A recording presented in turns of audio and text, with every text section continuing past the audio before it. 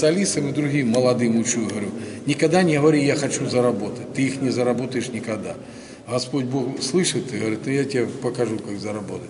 Надо говорить в том смысле, вот если хранилище я построил, для чего? Если я не успеваю продать, независимо от цены я беру ложу, потому что я не успеваю. Но слава Богу, 15 лет я успеваю продавать и ложить мне нечего. Некоторые просто берут в августе, я хочу хапнуть, кто-то ему сказал там Ванга или кто, не знаю, что цена будет зимой хорошая, и зимой он его выгребает по 5 рублей, по 4 рубля, и половина гнилой. Поэтому вот эти вот броски жизни я не делаю абсолютно. Я ложу вот или для завода, или то, что не продал. Ну вот до января, если у вас хранится э, э, процент выбраковки, э, процент потери, какой за полугодовой период? Если на завод отправляем, да? Ну, на завод или... Ну, вообще, э, они до 25%. теряется, да? Это, но это тут уходит не только картофель, это земля, вот, которую мы же залаживаем, все равно там присутствие земли, это все вместе, вот отход идет.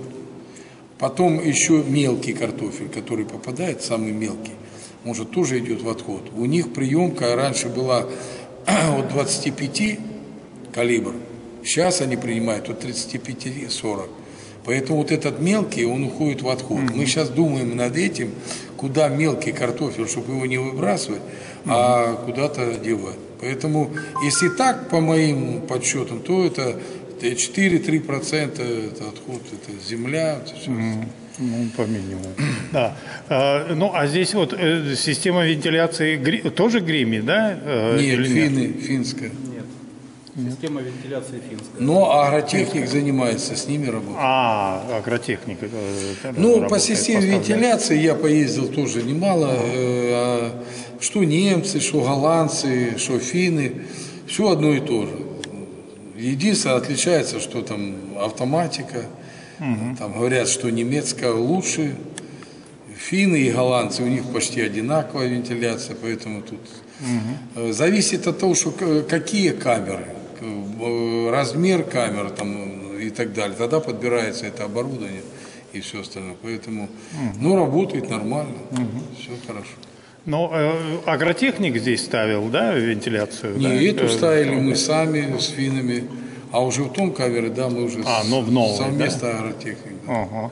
Они чем-то отличаются или это такие? Абсолютно. Не, ну, тоже конечно, уже там уже Поновее, бо- да? более поновее. Модернизированные, да? Да, да, да. Мгм. Ясно. Ясно. А, И возможность э, регулировать, держать температуру Конечно, именно такую, конечно, которую э, установили, да? Мгм. Ясно. Что-то добавите э, по э, Да, системе вентиляции? добавлю.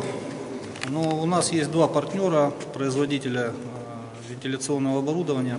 Это немецкий завод Гаугеле и финский Алап, продукцию которого здесь, соответственно, мы устанавливали. Это хранилище Николай Николаевич самостоятельно с заводом делал.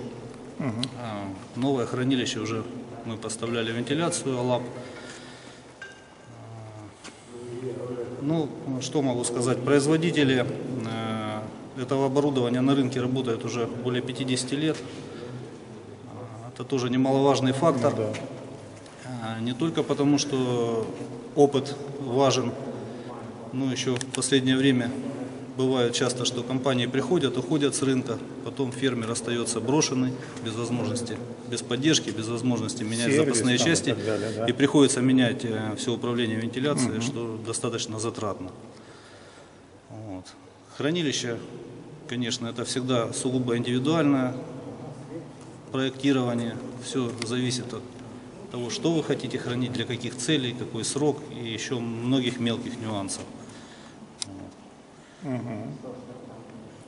А, Ну, а вот здесь вот э, сервисное обслуживание к э, вашим услугам не, не прибегает? по Сервисное обслуживание это тоже немаловажный фактор, возможность э, каких-то настроек, регулировок, замены комплектующих. Наша Ну, то есть к вам э, Конечно. Николай Николаевич, и вот Конечно. поэтому в том числе э, э, помещению, которому уже 6 Конечно, лет, да? да. Мгм. Ясно. Тут скорость реагирования и решения вопроса очень важна, потому что когда лежит 7 тысяч тонн продукта, и над ним нависла угроза, надо быстро все устранить.